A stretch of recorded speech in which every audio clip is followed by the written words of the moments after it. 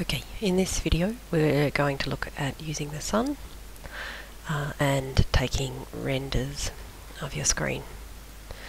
Um, so we've already set a sun up in this file, so you just need to go to your layers. You can right click in the grey area and turn the layers on.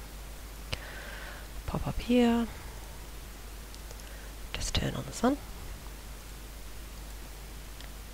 And if you zoom out a bit you'll find this thing. Uh, what's fantastic about the um, sun in Max is that uh, you can have any sun in the world um, at any time of day. It's a it's a real daylight system. Um, it's made under the Create panel, under the systems at the end here, and there is a tutorial on the LMS um, which Dermot's put together, uh, which shows you how to actually create one of these. For this one, we'll just modify the one in the scene. So selecting the sun head, I can go to the modify panel and you'll see it's called a daylight and this is the assembled head. I can go to the setup and I can get location. The location we've set is Melbourne, Australia. As you can see, uh, you can set it for any continent in the world, which is pretty pretty amazing. I can then set the um, any time of day or any hour that I want to take a render from. Um, so for this one I've set the hour to 9am and I've set the month to the first month which is January um, and day 15 so that's approximately in the middle of summer.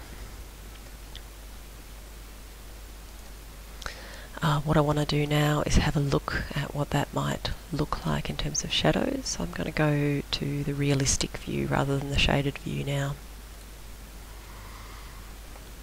And then what I'll do is type C on the keyboard.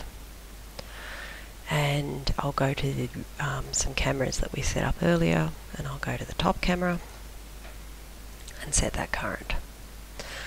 And that's starting to give um, the real shadows that would be in the middle of uh, summer which is pretty fun.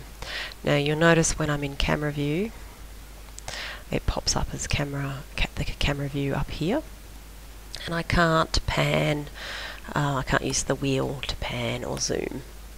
If I want to pan and zoom, I've got to right click up here and go back to perspective or orthographic. Orthographic's probably easier to look at. So right now I'm going to take a render of 9am in the middle of January by just going to the render production. We've already preset renders um, that might take some time and then you just need to save them to an appropriate place. So I'm going to go back here into Max and I'm going to make a folder called renders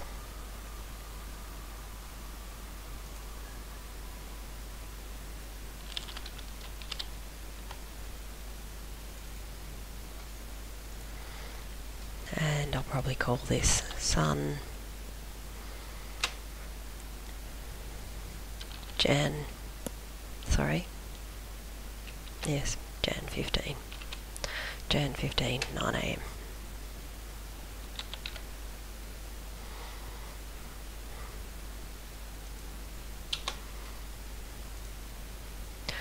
I uh, tend to save it as a JPEG. Just go OK.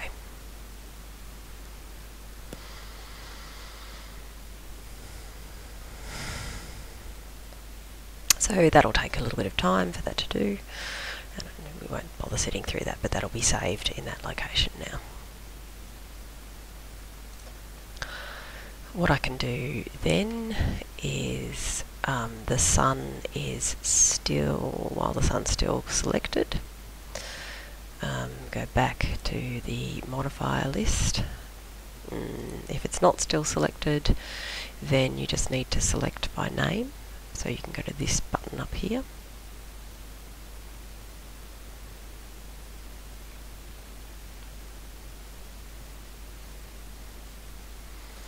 You can see there's the daylight. Okay. And the parameters will pop up again. set up and now I want to have the 1 o'clock in the afternoon of January 15th.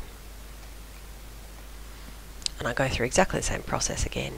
I do a render production, save that to somewhere logical, um, and do it one more time for 4 o'clock in the afternoon. So that's how you do your sun shadow diagrams.